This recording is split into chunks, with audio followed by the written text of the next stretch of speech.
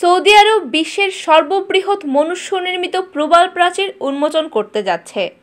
দেশটির সামুদ্রিক সেন্টারে এটি উদ্বোধন করা হবে। আল আরাবিয়ার খবরে বলা হয়েছে, সৌদির এই প্রবাল প্রাচীরে দর্শনার্থীরা পানির নিচ দিয়ে হাঁটতে পারবেন। সাবমেরিনে লোহিত সাগরে বিরল প্রজাতির নল দ্বারা ডুব দিতে পারবেন। দশ হাজার তিনশো চল্লিশ বর্গ কিলোমিটারের এই প্রতিষ্ঠানটি তিন স্তরে গঠিত হয়েছে। একটি ভূমির ওপর এবং বাকি দুইটি পানির নিচে। এই প্রবল প্রাচীরে দর্শনার্থীরা লোহিত সাগর এবং সমুদ্রের প্যানোরামিক দৃশ্য অবলোকন করতে পারবেন।